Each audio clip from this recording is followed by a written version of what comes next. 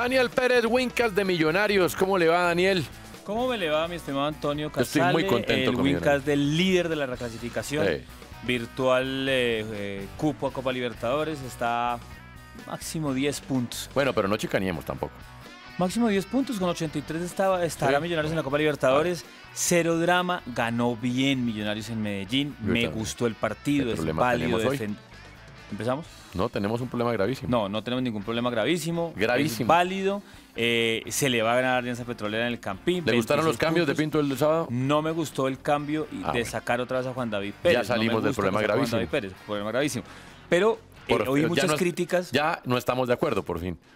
Nos Claro. quedamos de acuerdo en todo, ya, ya, ah, no, pues, ya- que tenemos de qué es que- discutir. Es que, ya empecé, mire, se acaba el Mm. partido, son las 7 de la noche del sábado y ya empieza uno a, leer Ah. que, que cómo que es que se defendió. ¿Cómo así? ¿Es que Millonarios juega solo? Sí, al claro. frente hay un rival, Sí, al claro. frente hay un rival, que el rival juega. ah, que es que se metió. Estamos de acuerdo. Ah, ah, estamos de acuerdo. Estamos Ah, de acuerdo en casi entonces- Ah, bueno, listo. Sí. Entonces, no, pero no me gusta. El problema es que estamos de acuerdo. ¿Por qué, por qué saca Juan David Pérez? No si estamos usted de acuerdo. toma la decisión de replegarse, de armar el 4-5 o el 4-4 y dejar jugadores rápidos para el contraataque, para las transiciones, porque a eso le apostó. O sea, esa fue su decisión. Yo no digo que esté bien o mal, pero esa fue su decisión.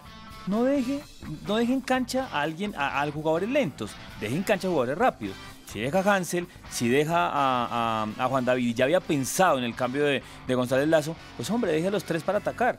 Pártase a propósito si Daniel. queda alargado. Usted como que no ve televisión. A ver.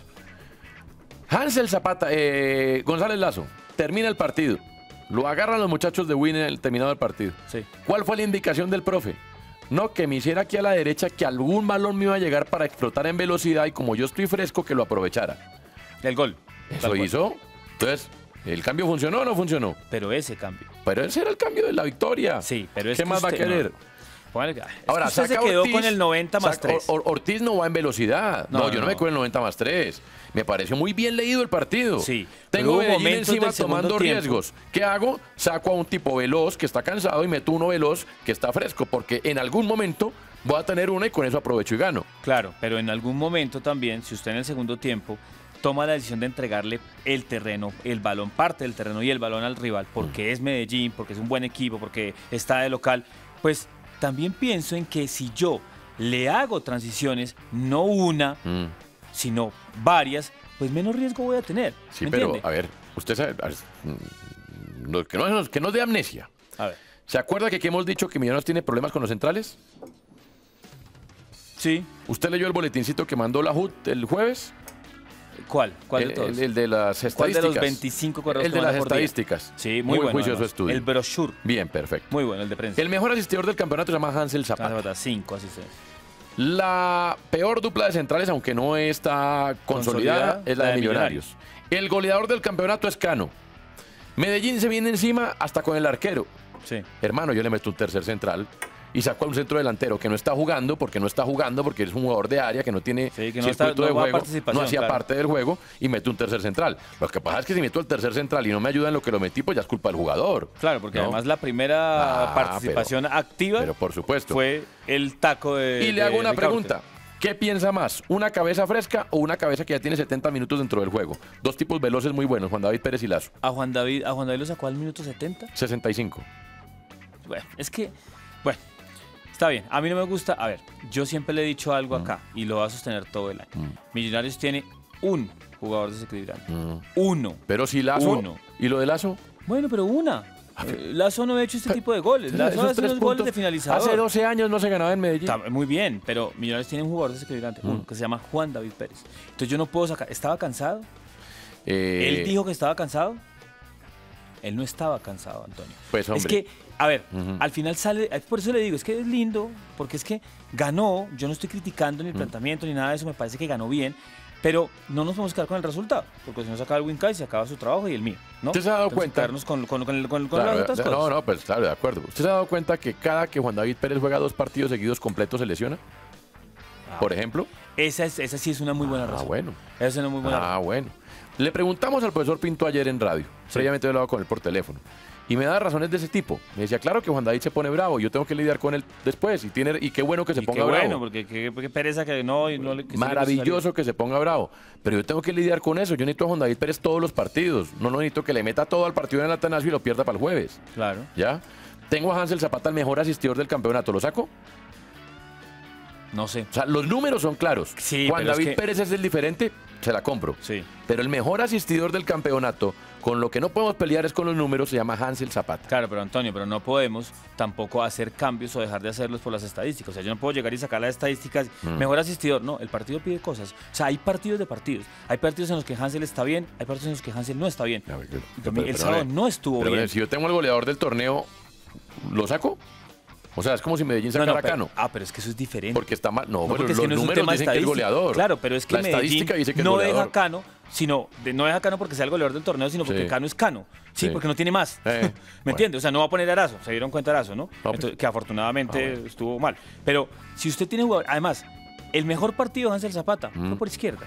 El mejor partido. Sí. Segundo tiempo con Cali en Bogotá. Sí. Los dos pase gol.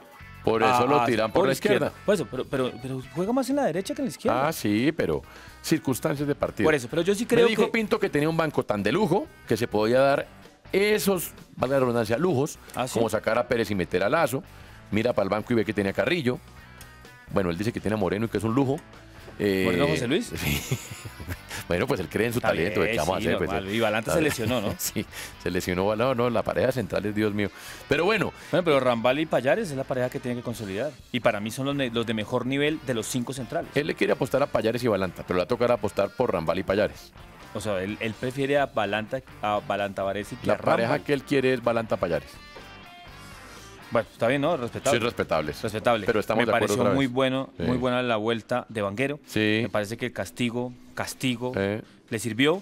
Bertel no anda en un nivel, no hay competencia en el lateral izquierdo, No. pero no solo no hay competencia, sino que me parece que Vanguero lo hace bien. Lo hace bien, Vanguero es sí, bueno. sí, Vanguero sí. se equivocó en el clásico, sí, No, pero ya, ¿quién no se equivoca? ¿Sabe que el Wenger es un jugador muy inteligente? Muy inteligente, es que tiene Eh, experiencia, toma buenas decisiones. Él ya sabe cuándo ir, ya sabe cuándo cierra quedarse, cuando tiene cuándo- que cerrar. exactamente. Mm. A mí, a mí me gusta mucho Felipe Vanguero, me parece que está, está teniendo un, un buen, un buen campeonato, un buen año. Eh, pero bueno, hablemos de Alianza Petrolera, ¿no? No, es que eso le iba a decir.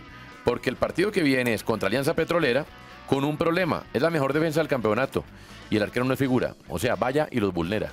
No, pero el arquero contra Unión Magdalena fue figura. Eh, ¿Jerez? partido- sí, Ricardo Jerez fue la gran figura Sí, con Tolima, Magdalena. bueno, sí, con Sí. Tolima. Pero hablo en la generalidad del torneo, no es la figura de Alianza pero, Petrolera. pero es un equipo que se le puede llegar. Y. Millonarios tiene algo que, que le- que puede jugar a favor. Mm. Y es que Alianza Petrolera se, ya se siente clasificado. Eh, Ya se siente clasificado Eh. porque se le viene Millonarios Nacional. no son líderes porque sí, 27. ¿no? No, no, no, con, Sí. con méritos. Y, y habrá Wincast de Alianza Petrolera que no lo va a hacer yo. Mm. Miraremos a ver quién. Mm. Eh, pero yo sí creo Mm. que Millonarios tiene todo porque el otro equipo, no es que se confíen, pero ya se sienten clasificados. Mm. Pero- Además no está mal, Mm. porque es que quedan 24 puntos por Sí. disputar y tienen 27. ¿Carachito va a jugar? Eh, Carachito yo creo que va al banco. Es que a mí lo de la ley del ex no me gusta. Que no hagan falta cerca. No vaya a ser que Carachito le meta un gol de tiro libre. Exactamente, sí. ¿Sí? Y ese se fue con sangre en el ojo. Sí, sí, Sí. Pero, pero yo creo que va a ser esos partidos lindos Mm. y yo creo que Millonarios tiene, o sea, Pero usted tiene más claro Alianza Petrolera que yo. Yo, la verdad, he visto un par de partidos, no muchos más Sí. de Alianza sí, a Petrolera. mí me tocó comentar dos o tres más o menos. Bien, entonces yo sí le pregunto, con este Millonarios, ¿cómo se le ataca a Alianza Petrolera? No, Millonarios, Millonarios tiene que basar todo en los laterales. O sea, Millonarios tiene que basar el fútbol para, para gestionarlo desde las bandas, no puede ser con los extremos, porque necesita volumen en el área para finalizar las jugadas. Y con Ortiz solo en el área no sirve. Entonces, si va a ser Hansel Zapata y Juan David Pérez, que es lo más lógico, se necesita que si es por derecha, llegue al área. Juan David o Hansel en el lugar que era, que llegue McAllister, pero los laterales van a ser fundamentales. Eso tiene un problema. Ujú. Y es que va a jugar, se va a replegar, Petrolera no va a atacar en el campín, por altura, por todo, y va a empezar a tirar pelotados a la espalda, Sí. y ahí van a tener que tener, tener muy rápidos. Y ellos saben que en los centrales, Que los centrales son nos lentos. podemos parar ahí los 10.000 hinchas Pero le que van una al estadio en el y no. momento de, del- de- ¿sabe qué hace mucho Eh. Alianza Petrolera? Mm. Con Jason Palacios y con Luciano Espina los Sí. centrales, tirar pelotazos. Sí. Mucho pelotazo largo, porque tiene jugadores rápidos, porque tiene Vázquez, porque tiene Y en Millos hay problemas. Exactamente, Sí. pero si ustedes de la gestión... Ellos la pasan ahí, por encima, eh, o sea, lo pasan el mediocampo por encima. Claro, pasa Ok. por encima. Y eso El que. Kleider, Kleider Mm. Alzate, está Oh, siendo es importante, en eso, sí. está jugando muy bien, pero Kleider es, es muy pasador, exactamente. Él no, él no es de los que vaya a acompaña. Ok. Cuando él está cerca de la jugada, acompaña, pero cuando él está lejos, no le da el tanque para ir y volver. Según eso es un partido para McAllister importante. Es un partido para McAllister importante, de los laterales seguramente serán figuras Sí. y, y hay que tener at- atentos al medio, o sea, cuando no se tenga la pelota, eh, cuando en el retroceso, como hemos hablado siempre, no hacer 4-2, sino hacer 4-3. Oiga, un- o con Juan David o con Hans. Eso, y yo le voy a poner una última. Sí, Jaramillo es muy buen jugador, Duque es muy buen jugador, Carrillo es muy buen jugador. Sí. Carrillo no está en sus mejores días. sí. Pero hombre, Pero el Jaramillo tampoco tanto, ¿no? allá voy yo. Ajá. El fútbol moderno no exige un mediocampo más del corte Duque, Carrillo, que Duque, Jaramillo o Carrillo Jaramillo. O sea, Carrillo sí o sí dice usted. Carrillo con uno de los otros dos. No, Carrillo con Duque. Carrillo con Duque. ¿Por qué? Porque los dos tienen, son muy buenos en la doble función. Y el fútbol moderno exige la doble función máxime cuando Millos no tiene un 10-10. Sí, puede ser, puede ser porque no, y cuando además McAllister a veces se va a un costado y se pierde del exacto. circuito y ahí está como el verdadero armador. Eh, ¿no? exactamente. Eh, lo que pasa es que también a mí me gusta es la dupla, el muy destructor y Sí. el más eh, mixto. Usted es un poco más ortodoxo eso. claro, porque Ya. a mí me parece que también, como Millonarios sufre tanto en defensa por el nivel Ah, de los sí. centrales, Sí, también se necesita un corrector Bueno, pues por menos. que con Toyo Jaramillo Medellín lo, lo metió. Sí, sí, sí. Mm. Sí, pero bueno, Otra cosa me dijo Pinto. a ver. El reclamo el martes en la primera hora, lo primero que les dije fue no podemos aguantar y descansar un partido tan atrás. Sí, e- ese sí es un pecado. Cuando usted toma sí. una decisión de replegarse, Sí. hay que. Puede Eh. entregarle parte del terreno, pues usted no puede defender tan cerca a su arquero. Eh. Porque cualquier cosita, tú, pasa algo. Nos toca irnos. Mejor dicho, no, si usted y yo fuéramos técnicos, No, seríamos uy, campeones no, o sea, de la campeones del mundo, Sí, campeones del mundo, o sea. Klopp y Guardiola. Pero Obviamente favor. yo Guardiola. No, yo Klopp, claramente. No me Uy, no, a mí no me estamos en metan otra arilla. No, no, bueno, yo cero Liverpool, mejor bueno, dicho. bueno, una dupla. Mourinho-Guardiola. Me pido Mourinho. Vamos. Que le vaya bien.